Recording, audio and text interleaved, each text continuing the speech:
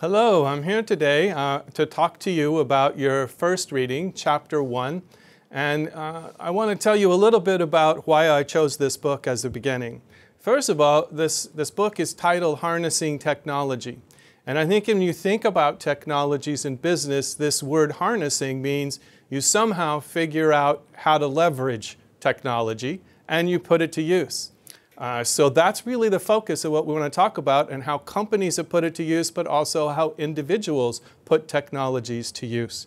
So uh, this first discussion will be framed around our textbook chapter one, and I, I should say that There'll be times when I won't follow the reading directly and I try to add materials that are really relevant today and maybe extend what's being discussed in the text so you can get an idea of what may be playing out in the newspapers uh, about the competitive nature of business surrounding this uh, topic of harnessing technologies. So your first question is, can you really harness the technology in your life? You've probably experienced the fact that technologies rapidly evolve and you kind of say, well, what product's available today? And you tend to adjust your life accordingly. So think of that adoption of a mobile phone and how we sort of changed the way that we communicate. And uh, instead of talking on the phone or using our landlines, we do a lot of texting and, and, and emailing and do things completely differently. So um, can you really harness these technologies? And then if someone is saying that you can, how do we really know that? What evidence is there that would be able to show us that we've harnessed technology. Well, one thing that I'd point to, and especially in some of the companies I've worked with, they have created new business models to be able to leverage technologies.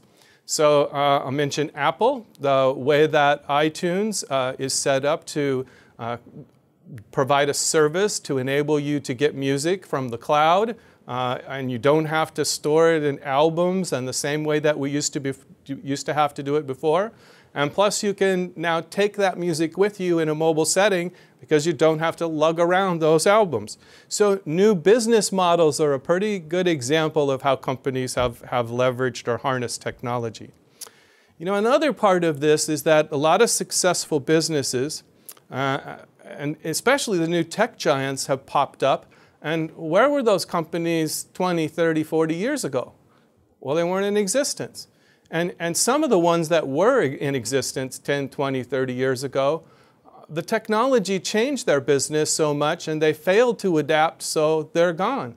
That's another important piece of evidence. If we look at the Fortune 500, which is the top 500 companies in terms of, of uh, their value, uh, then about half of those disappeared in, in that time period. A lot of times they merged and there were acquisitions, but it's an amazing amount of change.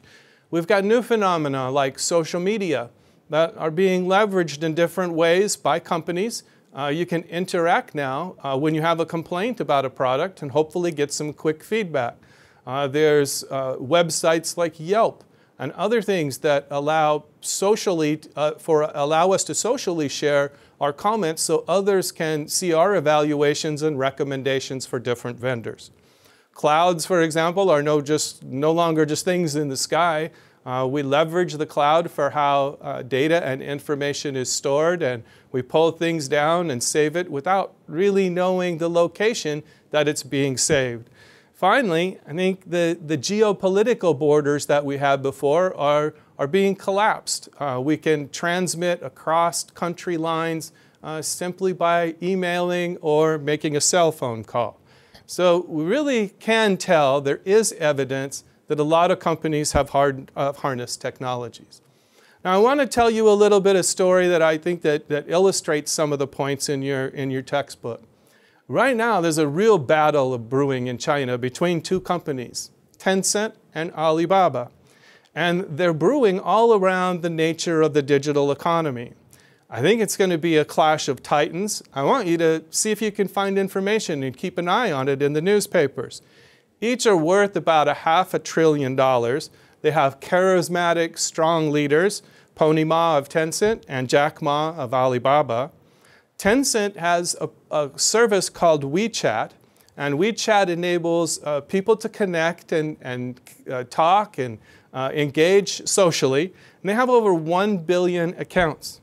Alibaba is an online marketplace. You can think of it a little bit similar to Amazon, and it has 552 million active customers. Now, you think, what are these two doing? Why are they competing? Uh, what is getting set up? Well, the nature of their digital businesses is expanding. So Alibaba is buying stakes in uh, companies and businesses that fit with its commerce platform. Tencent, on the other hand, is taking minority stakes, in other words, buying into a lot of startup ventures so it can learn the technology from those companies and then leverage in it, its own platform.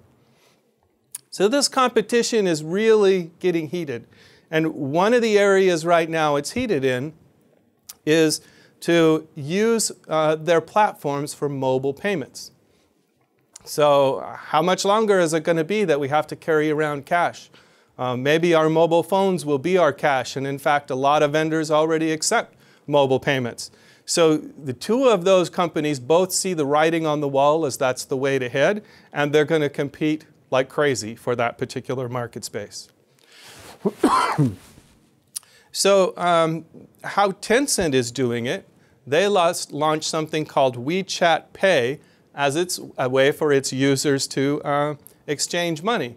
And I think what's interesting about that is they, they adapted a century-old custom in China of giving gifts on New Year's Day in a red, to a, what they call the red envelope service, where you're able to put money in this virtual red envelope and give it to someone on New Year's and, and wish them good luck.